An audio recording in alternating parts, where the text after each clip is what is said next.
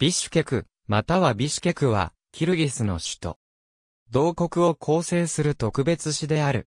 人口98万人、キルギス北部のイリアララト山脈のふもとに位置し、海抜は800メートルである。市の北方を流れるチュイ川は、カザフスタンとの国境になっている。1991年までの旧名はフルンゼ。ビシュケクという都市名は、キルギスの国民種である馬乳種を作る時の核半機の名前に由来する。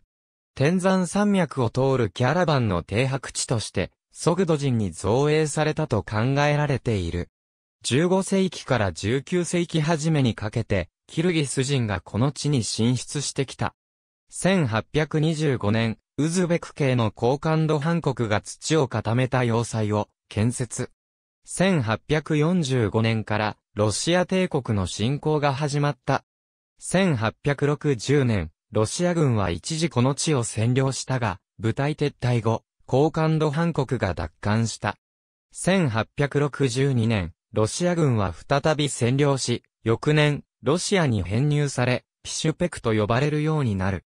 肥沃なチェルノーゼムのため、ロシア各地から農民の入植が推進される。一方、キルギス人は、パミール高原やアフガニスタンに脱出する。1878年、ピシュペクは、軍都に昇格し、死の地位を得た。1926年、ソ連内の自治共和国、キルギス自治ソビエト社会主義共和国が誕生。ロシア革命時の赤軍司令官でピシュペク生まれのミハイル・フルンゼの死後、フルンゼと改名され、自治共和国の首都となる。1936年、キルギスソビエト社会主義共和国が発足する。1990年代に入ると、政情不安が広がり、非常事態宣言が出される。1991年2月、ビシュケクに改名される。同年8月、キルギスタン共和国として独立を果たす。独立前、ビシュケクは典型的なロシアの一都市であった。フルシチョフカと呼ばれるソ連式の確一的な建物が五番状の大通りに整然と立ち並んでいた。ビシュケクの住民の多くがロシア人であった。しかし、独立後の2002年には、ビシュケクのロシア人の割合は20%を下回るようになった。2007年8月16日、上海協力機構首脳会議を開催。なお、ソ連時代には、緑の街フルンゼと呼ばれており、風光明媚な都市としても有名である。ソ連時代は、ロシア人が多数を占めていたが、独立以降に急減し、2009年時点では、キルギス人が60%と大半を占めている。ロシア人は23%となっており、高麗人やウイグル人、タタール人、ドンガン人、ウクライナ人やカフカス系の民族も在住するなど、多民族都市となっている。欠片の気候区分では、地中海性気候に属する。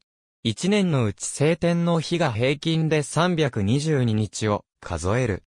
1月の平均気温は低、摂氏2.6度、7月の平均気温は25.9度、年平均気温は11.3度、年間総降水量は 452mm である。